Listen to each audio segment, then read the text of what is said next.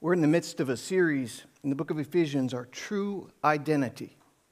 We've gone through the first three chapters, which really are the theological underpinnings for what he's wanting to talk about in chapters 4, 5, and 6.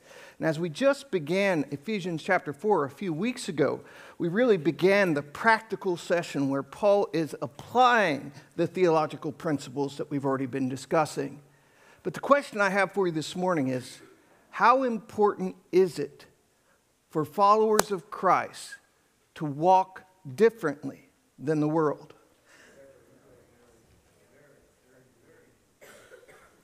We don't have to be a relatively experienced student of the Bible before we see that God's people have always been challenged to be different. In the Old Testament, the Jews were given over 600 laws some of which were external and ceremonial, by which they could be a unique people. But even beyond the outward, external differences, we are called to live morally different than the rest of the world. Why? That's what we're going to be looking at today. Not only does Paul give us four incredible reasons why we should not live like the world lives. But then he gives us really practical steps on how to do just that. So, whether you've been a follower of Christ for many years and you need to be reminded of the importance of living sanctified, living holy as to the Lord, or whether you're a relatively new believer, this message is very important for you. See, the Ephesian church, although they were a gospel centered church, they were living in a society that was carnal and pagan. Does anybody know who the God of the Ephesians was, if you remember reading through the book of Acts? Artemis or Diana, depending on which translation you have. It's whether you're looking at the uh, Greek word or the Roman word, but nevertheless, they were extremely pagan, devoted to this deity that they believed to be God. Uh, they had prostitutes that frequented these temples, and as an act of worship, you could employ one of these prostitutes, male and female, in order to worship this pagan deity. So when Paul writes to this church, he tells them, he implores them, he commands them, walk differently. And that's really what this message is simply all about walking differently. When we say walking in Scripture, we're not talking about uh, the way we put one foot in front of the other, but more our pattern of daily life. How do we live differently than those people in the world? And why? That's what we want to take a look at today. So, if you have a copy of, your, of God's Word, we're going to find ourselves in the book of Ephesians, right where we left off last week, uh, starting in verse 17. And as God gives us the ability, we will hopefully make our way through verse 24. And uh, as you are able, would you stand with me for a simple demonstration of respect for the reading of God's holy written, inerrant word? Ephesians chapter 4, starting in verse 17. Now, this I say to you and testify in the Lord that you must no longer walk as the Gentiles do in the futility of their minds.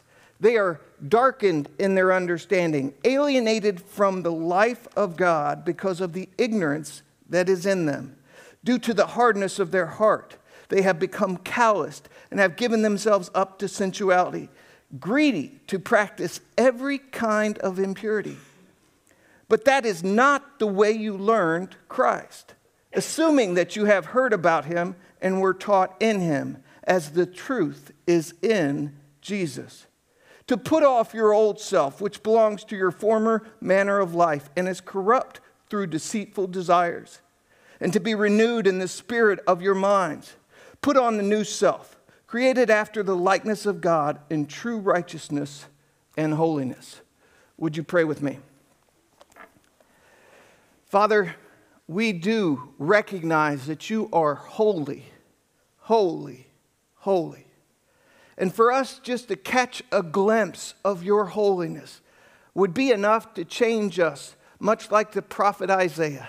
And Father, we would just be cast down as we look up to your great splendor. But Father, you have called us to live holy because you are holy. So, Lord, we pray that you'd help us to better understand how we cannot walk as the rest of the world walks, how we can live differently for you. This we pray in Christ's name. And God's people said. Thank you. you may be seated. If you are taking notes with me this morning, whether it's in your application that you've already downloaded or if you've got a bulletin out in front of us, the main idea that I want you to see is again, Paul was writing to believers. And the principle that we can learn from this passage is simply real salvation requires reliable transformation. If we are genuine followers of Christ, there will be consistent, demonstrable evidence of our relationship with Christ.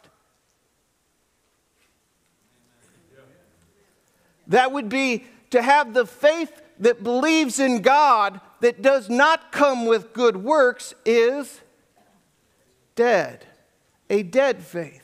So, if we are going to have a living faith, if we're going to have the right faith, there will be coming with that faith good works to follow.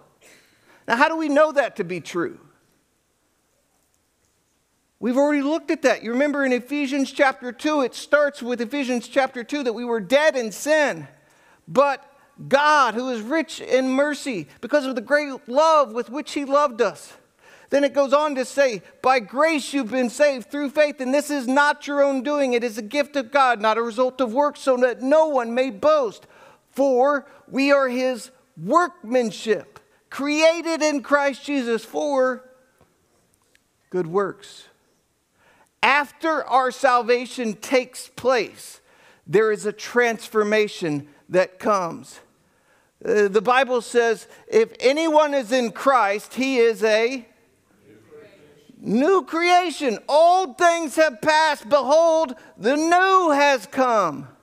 So, as we are followers of Christ, and if you've been a follower of Christ for many years, the significance of the changes you have made may have been lost.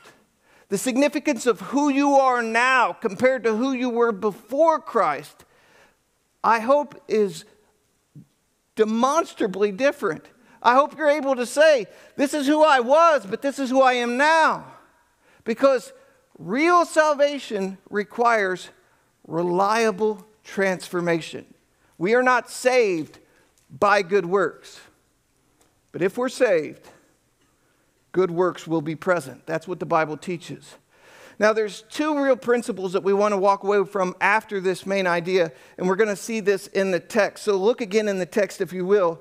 Verses 17 through 19 really give us this first principle, and it's really embodied in verse 17. It says, Now this I say and testify in the Lord, that you must no longer walk as the Gentiles do. So, what is the first thing that we have to learn from this? we cannot, and I wrote it down this way, we should not follow the example of the world. And what Paul was really saying to the Ephesian church was what? Stop it! What are you doing? You are living for Christ and yet you're continuing to live like the world. It wasn't just like, hey guys, just so you know, we can't do this. He is Stop living like the world. Why? Why is that really such a big deal? Well, you, you, could look in a lot of different places. In 1 John 2, it tells us, Do not love the world, for if anyone loves the world, the love of the Father is not in them. For all that is in the world, the desires of the flesh, the desires of the eyes, and the pride of life is not from the Father, but is of the world. So there's a significant difference between who God is and how the world lives. And what Paul does in the next few verses is really expounds on how much difference there is between someone who is a follower of Christ and how they have been changed and a person who is not yet a follower of Christ. There is a significant difference that when we become a follower of Christ, a change takes place. Now, you may be asking, what change takes place, Pastor? I say, I'm glad you asked. That's what Paul teaches us. So look again. In verse 17, he says, Now this I say and testify in the Lord that you must not walk the law, no, must not, or you must no longer, thank you, glad you're here, as the Gentiles do in the futility of their minds. They are darkened in their understanding. So the first thing he's really saying is the futility of their minds and they are darkened in their understanding. Futility, what does the word futility mean? Vanity, vanity, all is vanity. You can remember in Ecclesiastes, that's what Solomon was talking about life under the sun, that is, life according to the world. The best the world has is just emptiness, futility, vanity, because there's no real substance. But the futility of their mind is really focusing on intellectual dimness, is what I put down first. You can write that down for letter A intellectual dimness.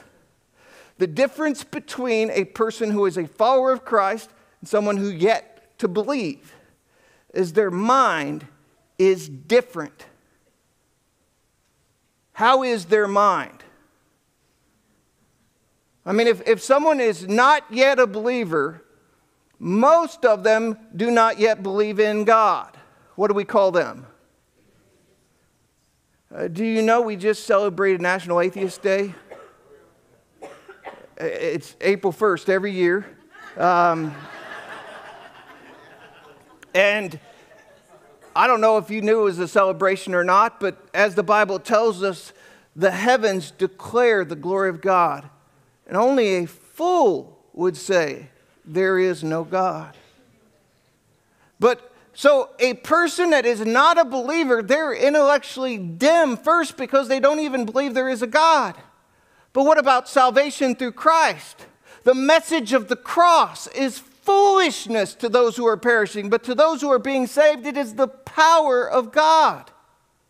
That is, that we understand the things of God because those things are spiritually discerned. The natural person can't even comprehend them. So there is an intellectual inability to understand really the things of God. That's one of the reasons why we should be living differently, because we have a new mind in Christ. There's a second reason that we should be walking differently. And as you continue in verse 18, it says, They are alienated from the life of God because of the ignorance that is in them. What does it mean to be alienated from the life of God? Spiritually separated. And what do we call that when we are alienated from life? Death. Yeah, so I put spiritual deadness is a second reason why we do not walk like the world walks because we have been made spiritually alive. If you are a follower of Christ, your connection with God has been reestablished. The very presence of God has indwelled you, and you are made alive. That's why we should not be living just like someone who is spiritually dead. We should not be living like someone who is intellectually dim or someone who is spiritually dead. But it continues on, and Paul's got another reason. Look back in the text, verse 18. Due to the hardness of their hearts, they have become callous. Now, the heart, really, in the New Testament, is the seat for emotions. And what Paul is saying here, that they have hardened their heart. They have become calloused, literally beyond feeling. Now, I wrote it down this way emotional dullness.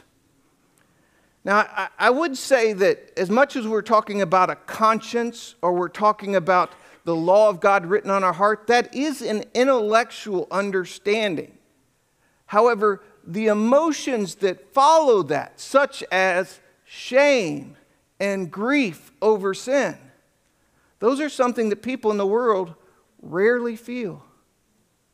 1 Timothy chapter 4 verses 1 and 2 talks about consciences being seared as with a hot iron. Literally that a person has become numb they just don't feel convicted over sin. They don't feel that that grief that comes with disappointing God because they are intellectually dim, they are spiritually dead, and they are emotionally dull. But there's one last reason why he goes on and says, they have become callous and given themselves up to sensuality, greedy to practice every kind of impurity. What do we call that? Now, we would call that depravity. I, I, just wrote down spiritual darkness for letter D in your notes. Spiritual or moral darkness. So we already have intellectual dimness. That is, they don't have the right way of thinking. Uh, we already have in there beyond the intellect, uh, there is also spiritual deadness, emotional dullness, and then lastly, moral darkness. This is something that Peter even talks about. I wrote this reference in your notes, I believe. 1 Timothy chapter, no, excuse me, 2 Peter chapter 2, verses 14 and 15 says, They have eyes full of adultery, insatiable for sin. They entice unsteady souls. They have hearts trained in greed. Accursed children, forsaking the right way, they have gone astray. They have followed the way of Balaam, the son of Beor, who loved gain from wrongdoing. Just speaking of people living in the world, people thinking up ways to go against God's law, thinking up new and creative ways to sin. And we should live like that? We should model the behavior because maybe they've made a lot of money or maybe because they're a celebrity, because they're famous. That's it. We'll just live like them. No. Why? Because we cannot follow the example of the world. And we gave you four reasons why. So, the next part of this important passage really teaches us the how, the nuts and bolts of how do we live differently than the world. And that's what we're going to see in verses 20 through 24.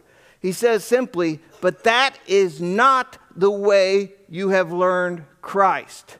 And it goes on and gives us some very important steps that we'll look at in a second. But think about this it doesn't say that is not how you learned about Christ, that is not how you learned Christ. Because to be in Christ is to have a relationship. It's not just an intellectual agreement, it's not an intellectual understanding, but salvation involves the total person. That has to sink from your mind, that long and dusty road sometimes to your heart has to be engaged by your will, and the whole person is made new in Christ. And if you are a child of God like that, you have not learned Christ through walking in the world. You can live in the world as long as you want. You won't find Jesus there. If you have Jesus, you didn't learn it from the world. So, the second real principle that I want you to get is simply we must be following the expectations of our Lord. We cannot follow the example of the world. We gave you reasons why, but we must be following the expectations of our Lord. That is what He wants us to do. And what does He want us to do? He wants us to live differently. He wants us to live righteously. He wants us to live holy because He is holy. And it gives us some important steps on how to do that. And as you look back at verse 21, it says, Assuming that you have heard about him and were taught in him as the truth is in Jesus. To put off your old self, which belongs to your former manner of life and is corrupt through its deceitful desires, and to be renewed in the spirit of your minds.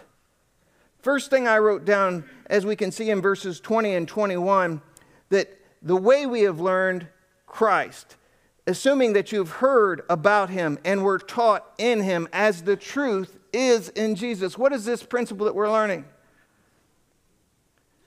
Do we have to guess what the expectations are of Christ? Because they've already been revealed. That's, that's the benefit. Uh, Jesus is the truth. We want to be like Jesus. We already know who Jesus is, we know what Jesus is like. So the truth has already been revealed, the expectations have already been given. I mean, he's even simplified it for us in one word love. Even the entire law is summarized this in one word love. Love your neighbor as yourself. That we have been given principles by which we can apply to all scripture. Well, the Bible doesn't say anything about that. The Bible says, Love your neighbor as you would like to be loved, as you would want yourself to be treated, you should treat others. That's pretty simple. I mean, even I can follow that. I, don't have to have 600 laws from the Old Testament memorized in order to know what God wants of me. And neither do you. The truth has already been revealed. We've already got 66 books, and all of them are good, but they point us to what God expects of us. And it's even summarized, as I said, in many places. So the truth has already been revealed, but then in verse 22, it really solidifies what we should be doing in verse 23, excuse me, to be renewed in the spirit of your minds. So, letter A is simply the truth has been revealed. Letter B, our thinking must be renewed. Our thinking must be renewed. So, practically, how do you walk differently?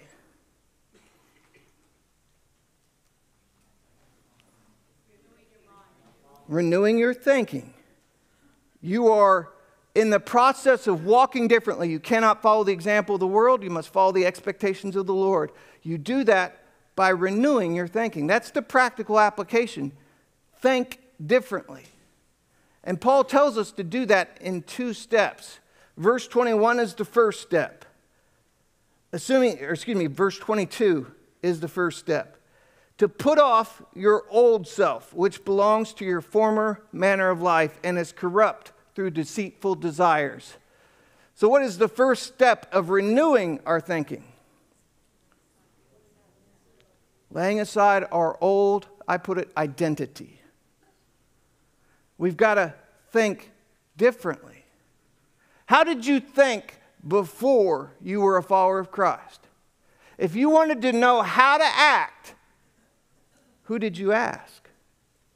If, if you wanted to know what you should do in a situation, where did you turn? I mean, we're not just talking about thinking as an intellectual processes, we're talking about attitudes as well, our mindset. In the world, what is your mind set on? Self, sin, uh, all those things.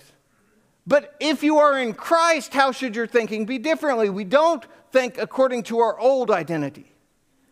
We don't think about the ways that we used to think. We don't look just simply at what feels good. We don't simply go by what we want to do. There's a higher calling and there is a different path, and, and that's what we're leading to. But the first thing is we have to reject our old identity because our old identity is corrupt. Romans 6 says it this way we know that our old self was crucified with him in order that the body of sin might be brought to nothing, so that we would no longer be enslaved to sin. For one who has died has been set free from sin. So our old attitudes, our old way of thinking, our old way of judging what is good, what is right, what is wrong, we can't use that old way of thinking anymore. And some of you already know where we're going, so what do we do instead?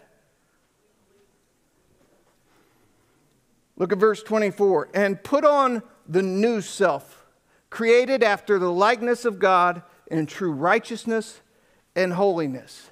That new self is our new identity. I wrote it down this way we can receive our new identity. Think of it like in the book of Romans, if you will. Romans is unique because the first 11 chapters are theological.